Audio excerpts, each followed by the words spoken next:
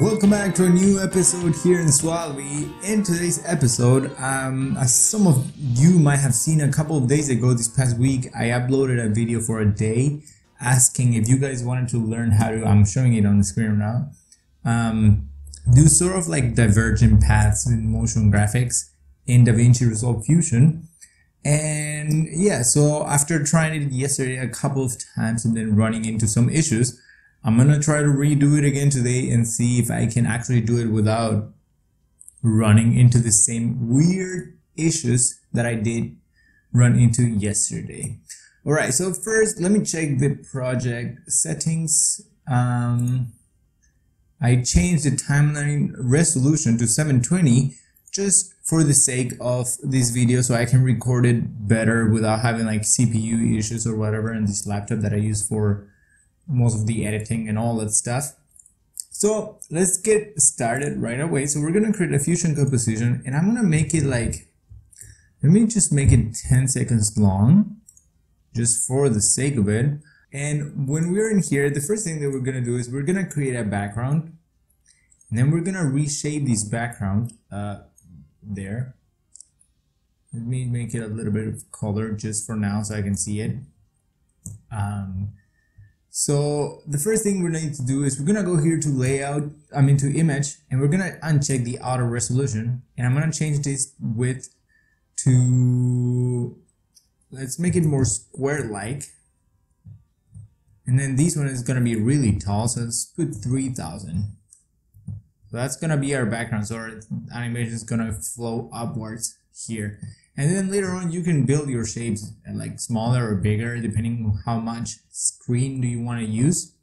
Um, that will depend on the camera and all that stuff that you're using here in 3d so all right let's so for the first thing we need to do is we need to do the circle shapes. So for that we're gonna copy this background but before that we're gonna create a merge node. So we're gonna copy this background up here. We're gonna make it black.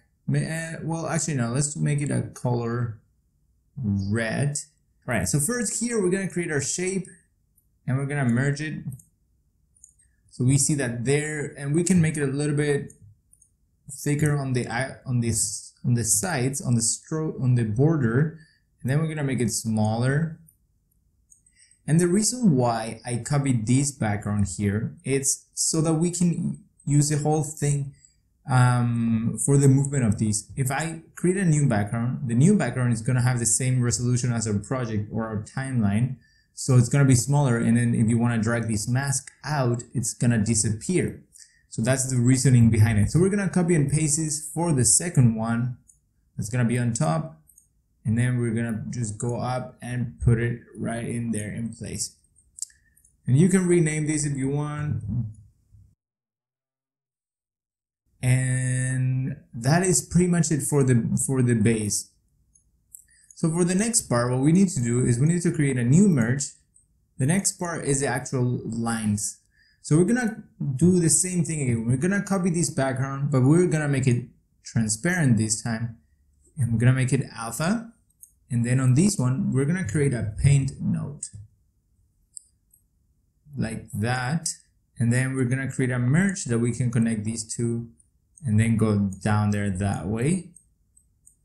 And I'll show you why in a second but we're not doing anything right here on this paint node yet.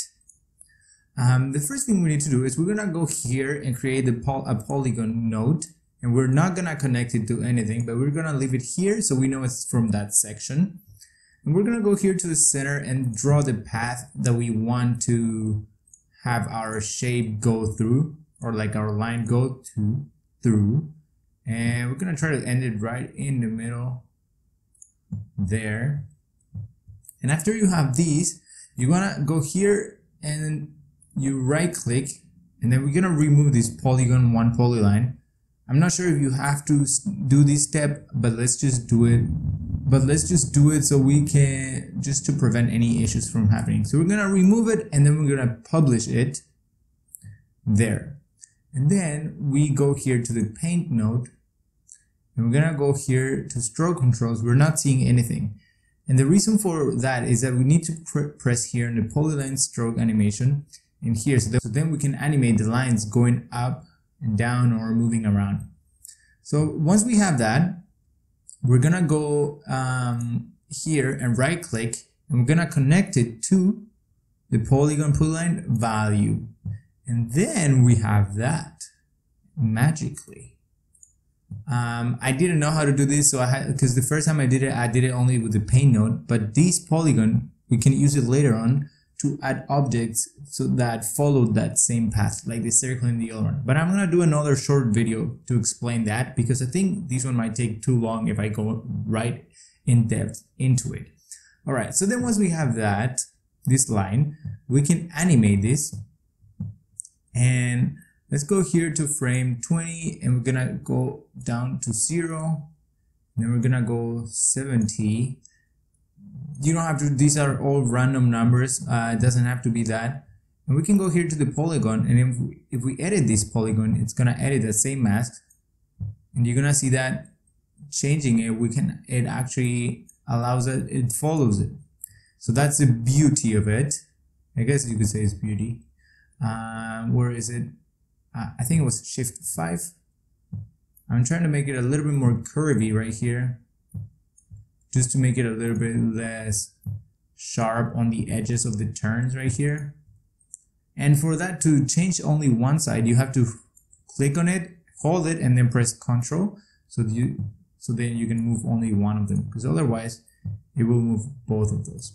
Right anyway so now that we have our line and as I said I'm not gonna create that circle that was following down the path in this video but I'm gonna do it on another one so let's just do ahead and let's go ahead and copy the same paint stuff into our composition right in the side of it. And right here, if we select this one, if we move it, we're gonna have our next um, path that our paint is going to follow. All right, and then just fix it there like that. Yeah, that's perfect. And let's see, let's test the view of it because sometimes it will freak out and have some issues when you just write, when you just copy and paste that. So we have to check, the way to check that out is we go to the paint node here and once we click polyline, we should be able to change the color. If it doesn't change, it's because we have to reconnect a bunch of stuff. So what we're going to do first is we're going to go right click here and then we have to connect it to the polygon 1 1 value and then we are able to move these around and just do that but now we have the issue of it just showing that same color and the animation is not working so the way to fix that is we're gonna go back ahead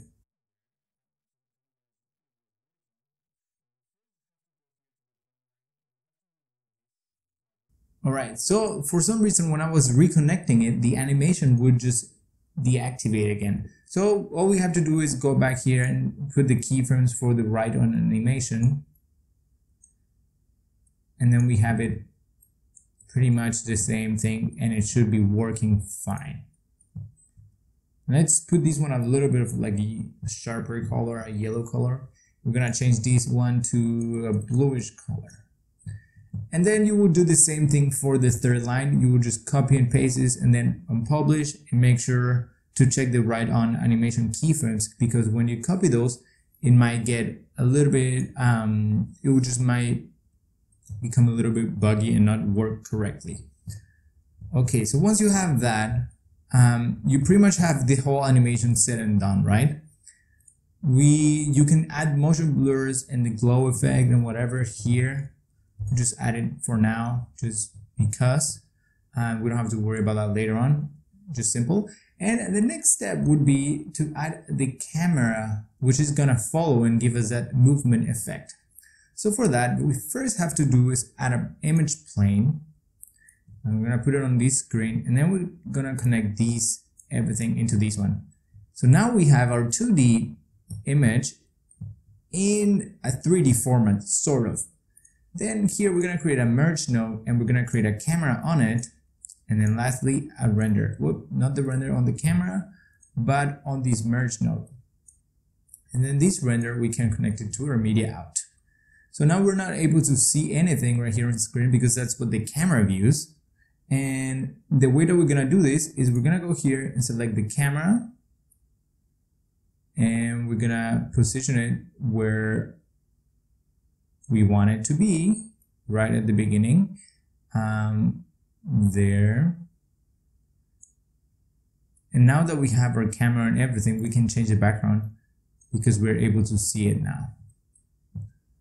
Okay so then when you have the way that we're gonna do this is we're gonna animate the camera movement the same way that it at the same speed or the same keyframe. So from 20 to 70 we're gonna animate. And we're gonna animate this Y translation you can also animate the Z translation, but that will be later on right in the middle. And I'm to show you that in a second. After we create the first one, we're to go back and all the way to the end up here. And we're to create another, and that's automatically creating that same following movement. And then we can also animate the write on so the things close up. So we're to go back to our paints and change the start animation. And we're having that weird white line again there which is which I still have to figure out for some reason why it's appearing. Um, but yeah we're not gonna let us let that make us lose focus right now. I think the way that I solved that was by I just create a new paint node and connect it there and I connected this new paint node to the path. Uh, we have to unpublish this again and publish it. And then I connected it to the new path. And I think now we should be fine with the animation. So yeah, that was the way to do it. So I guess you would have to like sort of like copy and, and create a new node every time you're doing it just to avoid those problems um, yeah so in order to avoid those you just have to create a new node every time. In order to sell the effect a little bit more what we want to do is um, we want to go to our background to our main background. We're gonna go here and on this one we're gonna add a paint node and on this paint node, we first have to go to the brush controls and change this shape a little bit. We can view it on our screen right here, or we can use this one so we can see the dots. All right, so we're gonna select this paint node. And before you do anything, you wanna adjust the stroke duration because when you paint um, that your timeline, that your animation is go going through, because otherwise it will just last for a couple of frames and then disappear. So we're just gonna put um, 100 because that's our length right here. And then we can just put a couple of dots right here and that will sort of like show that there's an actual movement. Then we can also change the color and add a couple of lines. Whoops. Okay, anyways, so now when you have your camera moving, it will show us it will just sell the effect the moving effect a little bit more. All right so that basically sells the effect better by adding that movement there.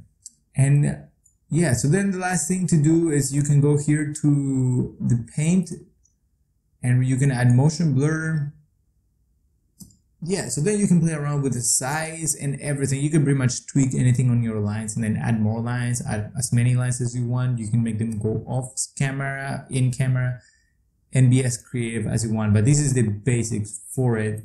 So let's just go right here and let me just render it real quick. And yeah that's the basic divergent paths tutorial here in DaVinci Resolve 16 and how you can create that effect and on the next video that I'm gonna do I'm gonna show you how to add this shape and make it follow a certain path. So then that will make things look a little bit cooler even cooler I guess you could say. And I hope that you enjoyed this video and that you learned something awesome and that you had fun. And I hope that you can re replicate this make it on your own.